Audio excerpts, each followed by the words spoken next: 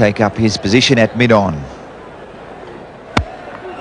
This is in the air and he's already on his way.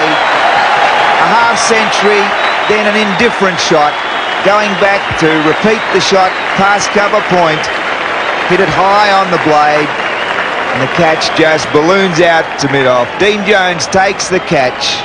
And that's the end of a very, very good partnership. Well, Martin Crowe getting into the shot too quickly, trying to hit it over the top of mid-off, mistimes it, and a simple, easy catch that Jones could have caught in his pocket. Three for 122.